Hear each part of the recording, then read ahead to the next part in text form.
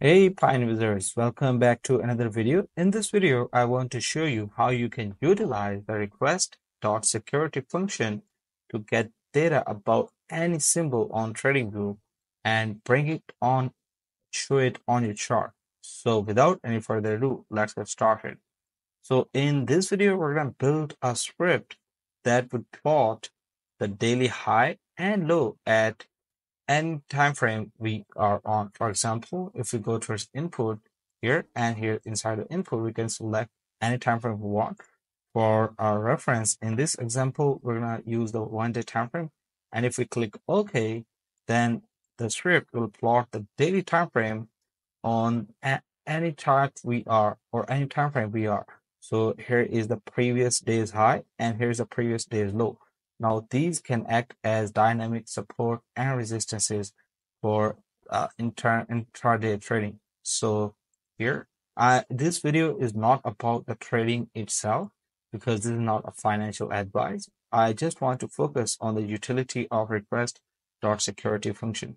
So now let's go ahead and start building this type of script where you can plot the previous day's highs and lows on the chart at any time frame you want to, even though even if you are on three minute, one minute, or at any time frame you are on. Now let's get started. So what I'm gonna do is I'm gonna remove this script. I'm gonna remove this code from this trading box here, and I'm just gonna paste the code line by line and explain what's happening. So here, me just go ahead and paste the first line. So here we are getting the input of the time frame we want to take the high and low of. So as I said, for this reference, we are gonna go with the daily time frame and we're gonna store this variable in we're gonna store this data in time frame variable. Now let's get go ahead and create a function that would get the high and low of this time frame. So we're gonna get previous get previous period high and low and the first variable that we're going to get is, so we're going to use the custom function notation and we're going to use this symbol to form this custom function.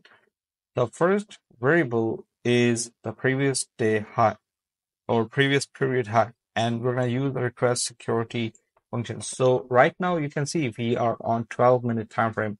So how do we get the previous daily time frame of GBP JPY data?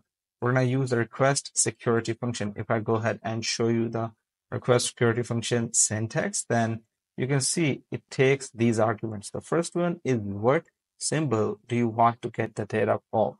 And then the time frame expression, do you want to look for the gaps? Do you want to keep them on or off?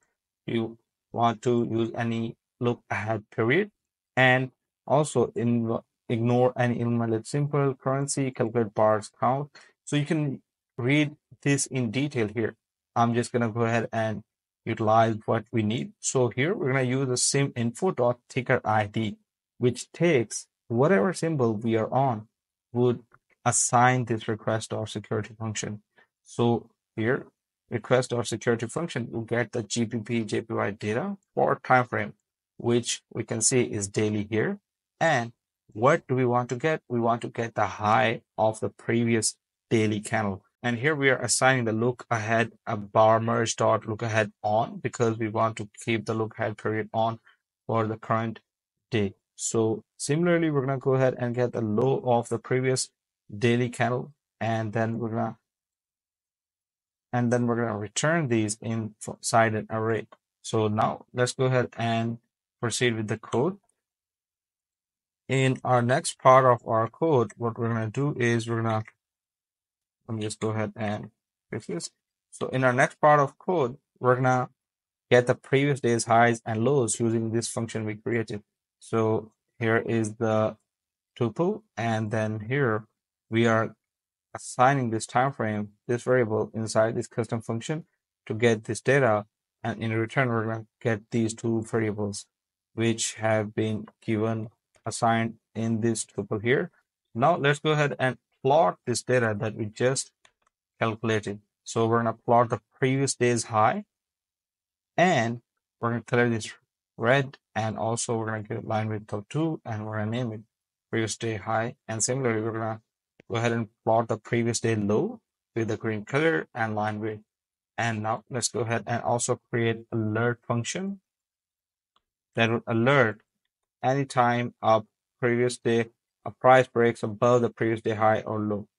And the last thing we're gonna do is we're gonna go ahead and color the bars where the market goes above or below the previous day highs or lows. Now let's go ahead and save it and add this to the chart. So once we add this to the chart, you can see there is the plotting of previous day highs and lows. So if we go to the 12 hour time frame, let's say one hour time frame, we should get almost 24 candles in our previous day high. So let me just go ahead and count the number of candles. And here you can see the 24 candles. So this high and this low is of the previous day's high and low. So if we go ahead and go to daily time frame, you can see we are getting the previous day high and previous day low. The low of this previous bar on this current candle is here, and the high of this previous bar on this current candle is here. And if we go to any intraday time frame like six, seven minutes, then we can see that price level being plotted here. Now, the areas where market crosses above this high, we can see are being highlighted in red. And if the market crosses below these lows, then those areas will be indicated in green. And you can also go ahead and create an alert because of the alert condition function. If you have not watched my video on how to create custom alerts, then please go ahead and watch that because in that video, I have explained in detail about alert and alert condition function. So you can go ahead and create this alert for the bars and this will alert you each time a candle or closes below or above the previous day high or low. So here you can see this can act as a very good indication of what the previous day price were. And if the market breaks above the previous day's high consistently then you can assume the market is moving in the bullish direction. So i hope you like this video. If you have any questions please comment down below I would love to answer them. Also, don't forget to like, share, and subscribe. See you in the next video.